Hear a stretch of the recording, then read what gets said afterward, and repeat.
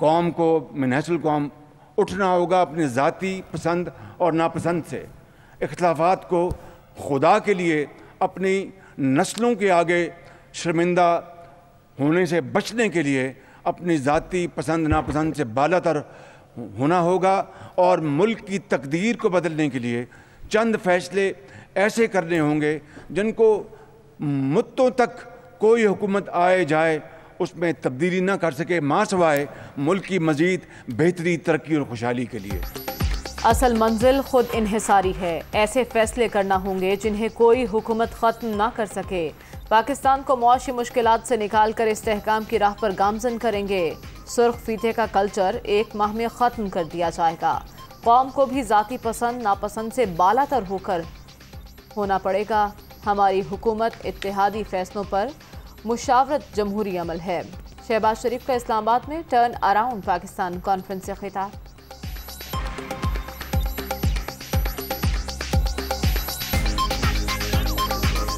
ये कॉन्फ्रेंस हमें ये बताएँ कि सुर्ख फीते को किस तरह ख़त्म करना है, जिसको मैं इन एक माह के अंदर ख़त्म करना चाहता हूँ। परमट राज को किस तरह ख़त्म करना है और एन ओ सी राज को किस तरह ख़त्म करना है? ये जो दफ्तरों के चक्कर, अब जनाब जा रहे हैं मिनिस्ट्री ऑफ़ पावर में, अब जा रहे हैं जनाब मिनिस्ट्री ऑफ़ इंडस्ट्रीज़ में, अब जा रहे हैं फाइनेंस में, अब जा रहे हैं फिर सिफारिश करवा रहे हैं फ़लाँ हज़रत की, फ़लाँ एक्सपर्ट की, फ़लाँ, ये चक्कर ख़त्म होना चाहिए।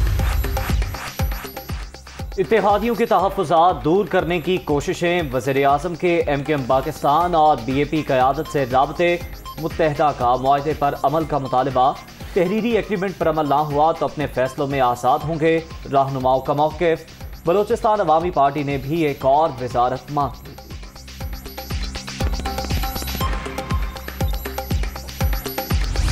सबसे पहले पाकिस्तान को जो ख़तरा था, उसके बारे में जो भी इकदाम थे, मैंने कभी भी डरा नहीं हूँ। मैं हर जगह जाके बोला है कि जो भी मुश्किल फ़ैसले करने वो किए हैं।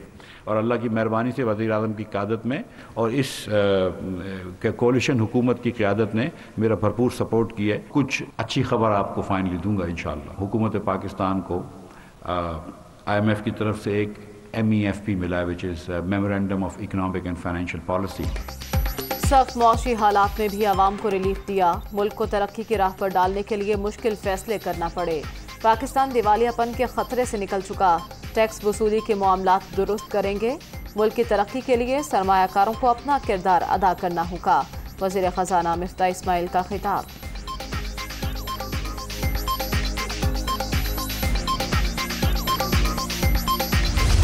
आईएमएफ पाकिस्तान को एक अरब नब्बे करोड़ डॉलर देगा। सातवीं और आठवीं जायजे के तहत दोनों एक साथ एक साथ मिलेंगी। वजारत खजाना को रकम जल्द मौसू होने का इम्कान।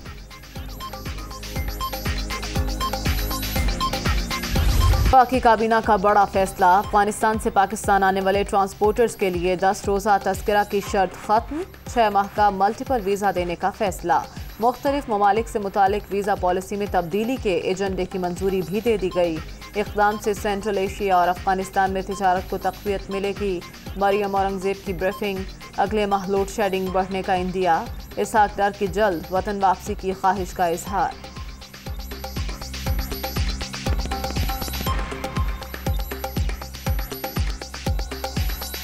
वर्कर वीज़ा कैटेगरी अफ़गानिस्तान का है, पाकिस्तान के साथ उसके अंदर सब कैटेगरी को शामिल किया गया है, जिसमें ड्राइवर्स ट्रांसपोर्टर्स और हेल्पर्स की एक कैटेगरी को ऐड करके ऑनलाइन वीज़ा सिस्टम के अंदर उसकी उसको मुतारफ़ कराया गया है। छः माह की जो मुद्दत मल्टीपल एंट्री वीज़ा है, उसको, उसका इजरा किया जाएगा। सिर्फ़ और सिर्फ़ इन्होंने एक काम किया अब तक। 1100 अरब रुपए के अपने ऊपर जो करप्शन केसेस थे, अपने आप को एनआरओ दे के वो माफ़ करवा लिए। और उसके अलावा इन्होंने इदारे तबाह किए हैं ताकि इनकी करप्शन बच जाए। आसमान पे महँगाई पहुँच गई और जो माशत है वो नीचे आ गई। आज बेरोजगारी बेरोजगारी बढ़ती जा रही है। सब कुछ हमने खराब किया तो फिर हमें हुकूमत में रहने देते, हम ज़िम्मेदारी भी लेते हमारी हुकूमत भी आईएमएफ प्रोग्राम में थी, लेकिन दबाव के बावजूद आवाम पर बोझ नहीं डाला। अब कौन सी क्यामत आ गई कि पेट्रोलियम मसनूआत और बिजली की कीमतें आसमान पर पहुँच गईं?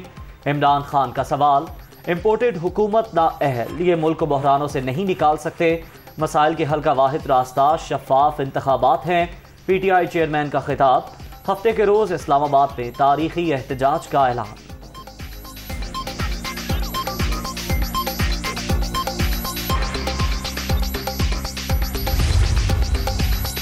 मुल्क तकरीरों से टर्न अराउंड नहीं होगा। डाकुओं और चोरों से बचाव, तरक्की की पहली शर्त है। जाली सेटअप को घर भेजकर जल्द इंतबात कराए जाएँ, फवाद चौधरी का मुतालबा।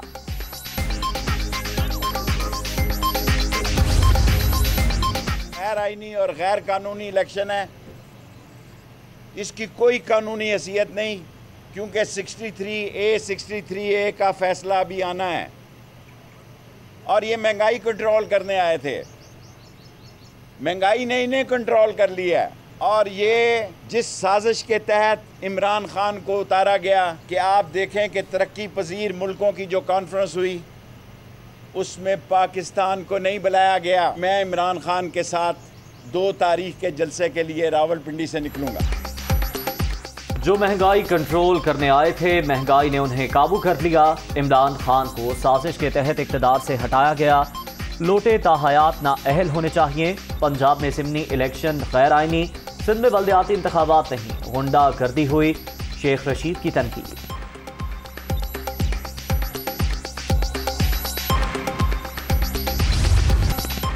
कराची में बिजली बहरान, सूबाई वज़ीर तोानाई का कि इलेक्ट्रिक से रबता, गैर एलानिया लोड शेडिंग, हंगामी बुनियादों पर ख़त्म करने की हिदायत। विफाकी हुकूमत नेपटा से मंजूर शुदा सब्सिडी करे, इम्तियाज़ शेख का मुतालबा।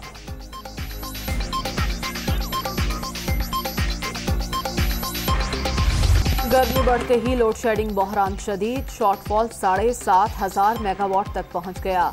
शहरों में आठ से दस, देहात में चौदह घंटे बिजली बंद, मामूलात ज़िंदगी बुरी तरह मुतासर, आवाम का पारा हम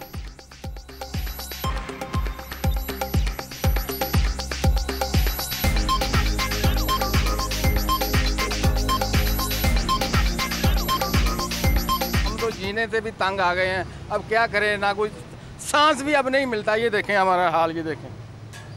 ये बच्चों का सोचें घर का सोचें क्या क्या सोचें सड़क पे आए तो उससे ज़्यादा बुरा हाल। बिजली है ही नहीं बिजली है ही नहीं दो घंटे आती है तीन घंटे बंद है तीन घंटे आती है तो छः घंटे बंद है। हालात इतने बदतर होते चले आ रहे हैं कि कारोबार है कोई नहीं। बिजली का बिल इतना ज़्यादा आता है कल सात रुपये रेट बढ़ाया इन्होंने। वो खुदा न खास्ता इन्होंने मरना नहीं है अल्लाह को जवाब नहीं दे दें कोई खुदा का कोई खौफ करे तो हमारे मुल्क के साथ क्या हो रहा है? नो, बिजली को तो ऐसे भी हमारे मुल्क में नहीं है नो, बिजली के, बिजली जब, पिछली हुकूमत थी, उसमें इतनी बिजली नहीं जाती थी। और तो अब तो बिजली का बिजली तो अड़ो, मुल्क में अड़ो है नहीं, हमारा इतना प्यारा पाकिस्तान है, इन्होंने हमारे मुल्क का कारोबार कबाड़ा कर दिया है। हमजा शहबाज को पंजाब की वजारत आला से हटाने की दरख्वास्तें, लाहौर हाईकोर्ट की एडवोकेट जनरल को एक रोज़ की मोहलत समात कल तक मुलतवी। वज़ीर अला का इंतखब कानून के मुताबिक नहीं हुआ। अगर 16 अप्रैल पर वापस आएँ तो उस वक्त हमजा शहबाज चीफ मिनिस्टर नहीं थे। बैरिस्टर अली ज़फ़र के दलाल किसी भी दबाव के बगैर फैसला करेंगे। जस्टिस सदाकत अली खान के रिमार्क्स।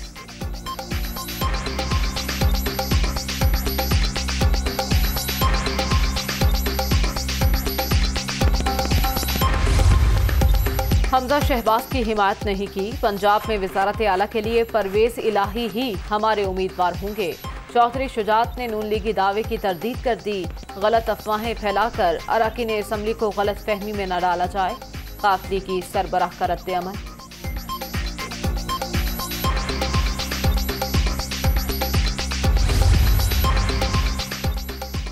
काफ लीग में कोई इख्तलाफ नहीं। हम सब एक हैं। अदालत का पूरा फैसला आने दें। वजारत आला का इलेक्शन लड़ेंगे।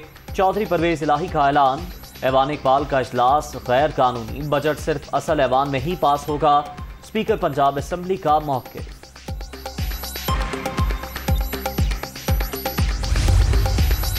आवाम को सेहत की बुनियादी सहूलियात की फराहमी, पंजाब हुकूमत सरगर्म, ओपीडीज में हेल्थ केयर सहूलतें बेहतर बनाने के प्रोग्राम की मंजूरी।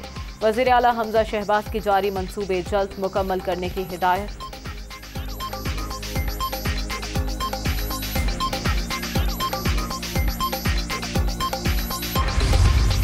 चार साल में तहरीक इंसाफ की जो हुकूमत थी, उसने बिल्कुल एक तबाह हाल पाकिस्तान सामने खड़ा किया। कोई डेवलपमेंट के प्रोग्राम्स पूरे सूबे में कहीं नहीं थे। ये तमाम चीज़ें उसकी पेश करते हैं और पैदा करता है। मीशत का इतना बुरा हाल हुआ है, जिसमें इन्होंने इकॉनमी को बिल्कुल ज़मीन बोस कर दिया था। हमें ये फीडबैक आना शुरू हुआ कॉन्स्टिट्यूंसी से कि लोग इस बात को बखूबी जानते हैं। कि कौन इन हालात का ज़िम्मेदार है?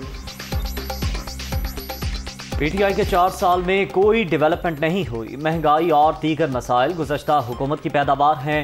तब्दीली के दावेदार मीशत को जमी बोस करके गए। आवाम सूरत हाल को समझ रहे हैं।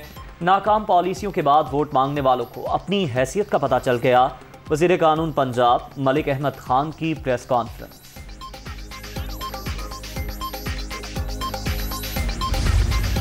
Police Peoples Party की तंजीम है। उन, उनके जाती नौकर हो गए। अगर पीपल्स पार्टी पुलिस को इस्तेमाल करके जुल्म कर रही है तो मैं क्या अकवाम मुतहदा को आवाज़ लगाऊँ? मैं कहा जाऊँ? आज जो ये हुक्मरान अपने इदारों को इस्तेमाल करके कर रहा है, इसको कोई रोकने वाला नहीं है। तो भाई ये तकलीफ़ करने की क्या ज़रूरत है? डेट्स देकर इलेक्शन कराने की क्या ज़रूरत है? सिंध का इलेक्शन कमीशन पीपल्स पार्टी की जेली तंजीम बन चुका। ऐसा तासुर दिया जा रहा है कि जो पीपी में नहीं, उसे कुछ नहीं मिलेगा। हुक्मरान इदारों को तबाह कर रहे हैं, कोई पूछने वाला नहीं। क्या इस मुल्क को बचाने के लिए कोई बाहर से आएगा? मुस्तफ़ा कमाल की press conference.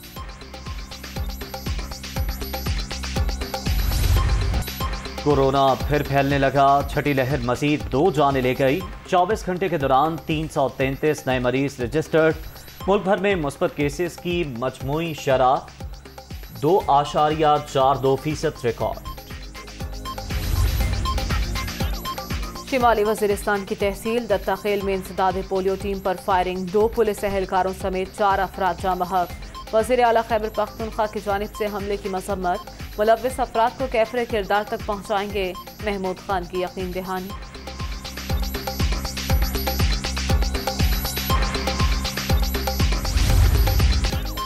T world cup से पहले सह मुल्की सीरीज़ कीवीज के देश में होने वाले मुकाबलों का शेड्यूल जारी। पाकिस्तान, बांग्लादेश और न्यूजीलैंड सात से चौदह अक्टूबर तक मध्य मुकाबल होंगे। रवा साल कीवीज के दौरे पाकिस्तान की भी तस्दीक।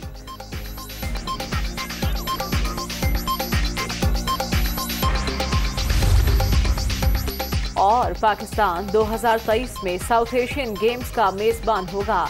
आइंदा बरस अक्टूबर, नवंबर में इवेंट का इनका मुख्तलिफ़ शहरों में किया जाएगा। खिलाड़ी 25 से जायद कैटेगरीज में अपने जौहर दिखाएँगे।